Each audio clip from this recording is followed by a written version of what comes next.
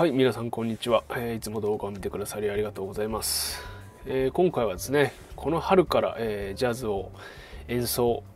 ジャズの演奏にですね取り組んでみようと、えー、考えてらっしゃる、えーま、大学生だったりですねまたはたまた社会人の方だったり、えーまあ、すでに、えー、お仕事引退されてこれから、え、趣味に、え、没頭しようとされてる方など様々いらっしゃるかと思いますが、まあ、そういった方の中でですね、えー、思い悩んでる方、えー、そういった方がもしかしたらいらっしゃるんじゃないかと思って、え、今回は、えそういったお話をしてみたいと思います。えーまあ、どういうふうに思い悩むかっていろいろあると思いますけれども、まあ、一つあるのはですね、えーまあ、いざ、えー、演奏に取り組んでみようと思って、えまあえま、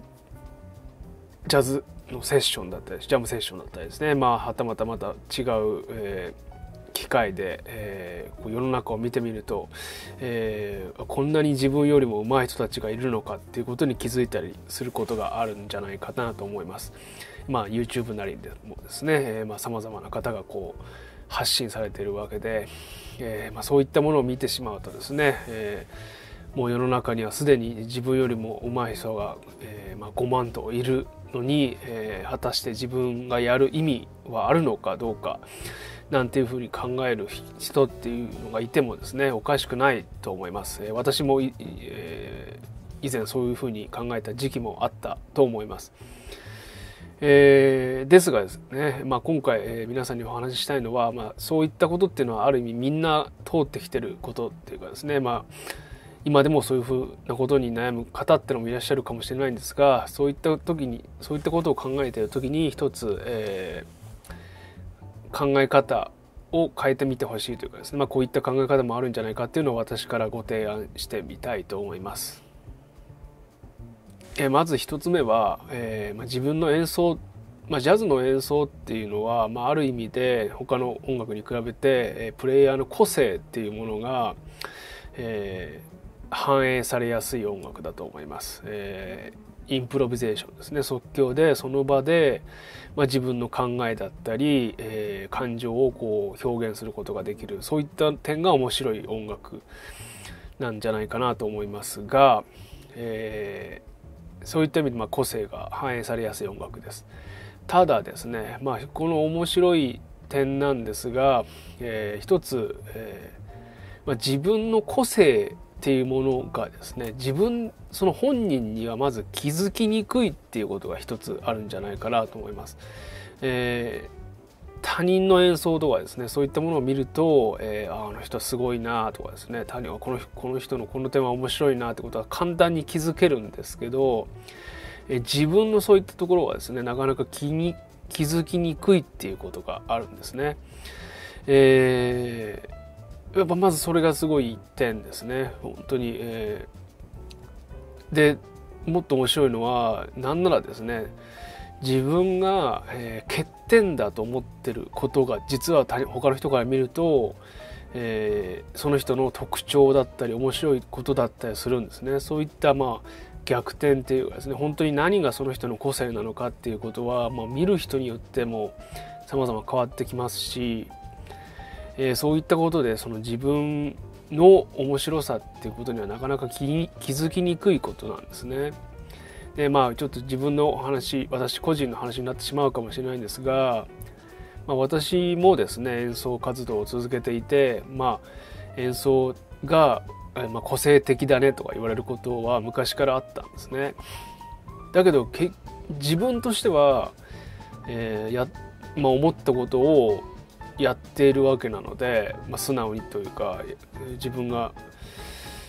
こうやりたいことをやって演奏してるわけでなので自分にとっては当たり前のことなんですよね。だけどやっぱまあそれが他の人から見ると個性的に思ってもらえるっていうか、まあ、そういったことっていうのは本当に自分では分からないんですよね。はい、えまず1つ目は自分の個性が気づきにくいっていうことですね。はい。そして2つ目、えー、まあ、なんで自分が演奏しているのかってことをまずかまた考えてみてほしいってことなんですね。えーまあ、考えてみれば基本的には、えー、ジャズの演奏家にを目指している方々はですね、まあ、最初の動機としてはやはり自分が楽しむために演奏してるって方がほとんどなんじゃないかなと思うんですねもちろんこれはそのジャズのオーディエンスリスナーのリスニング専門だっていう方もいらっしゃいますし、まあ、そういった人たちをこうないがしろにするのかみたいな言い方見方にもなってしまうのかもしれないんですがまずは基本的には、えー、演奏者自身が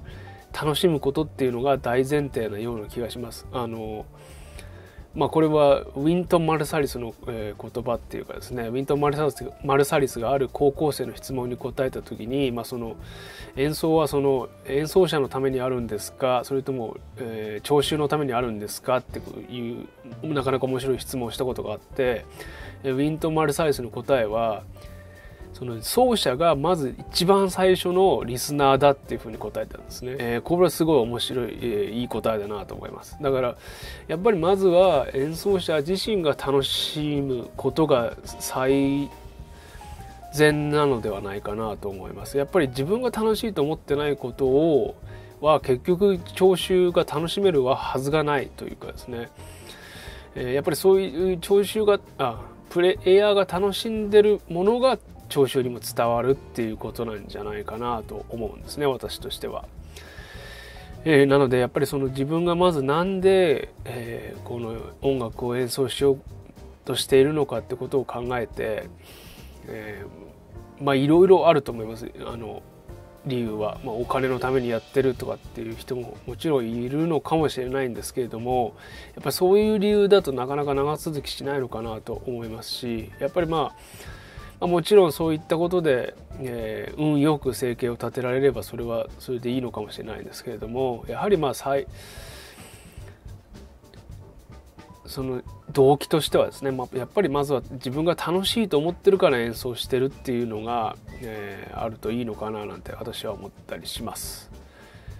はい、えー、なぜ自分が演奏してるのかってことを考えるってことですね。はい、で3つ目の理由としては、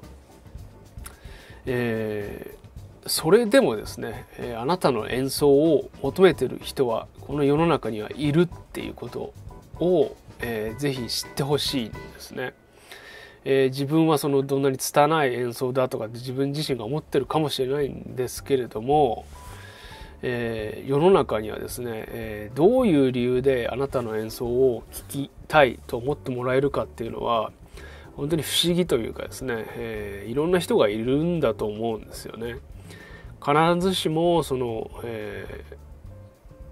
ー、音楽だけではないかもしれないしまた音楽とそのテクニ例えばテクニカルな音楽を求めてる人もいるかもしれないしもっとこう気楽に聴けるものを求めてるかもしれないしえー、若い何かこうエネルギーに満ちたような演奏を求めてる人もいるかもしれないし、えー、もっと落ち着いた、えー、演奏を求めてる人かもいるかもしれない。だ言いたい私が言いたいことは本当にですね世の中本当に広いですからしかも、え、今の時代ですね、まあ、例えば YouTube で発信したりすると、まあ、世界中の人に見てもらえるわけで、えー、どういう人がですねどういうものを求めてるかっていうのはものすごい幅があるっていうかですね、えー、決して自分が拙いというか価値がないと思ってしまうかもしれないんですけれども、えー、そういう自分でそうそう思ってしまうかもしれないですけど、えー、求めてる人はいるっていうことを最後にもう3つ目の点として挙げたいんですね。でまあこれの例っていうか、まあ、これも自分の話になってしまうんですけれどもえー、私のこの YouTube ですね。この俺を、えー、見てもですねやっぱりそういったことがあるんだなって自分で実感しています。っていうのは、えー、結局私がここで話してることっていうのは、え、まあある意味で世の中でこうよくよくというかまあ話されてることだと思うんですよ。決して新しいことじゃないですし、えー、同じようなことを発信してる人とか、まあ、本とかですね、まあ、あとレジェンドの人たちとかですね、まあ、いろんなえー、決してだからまたぜその絶対新しいっていうことじゃないと思うんですよね。でやっぱりそういったことを考えると、まあ、私みたいな、えー、わけわかんないその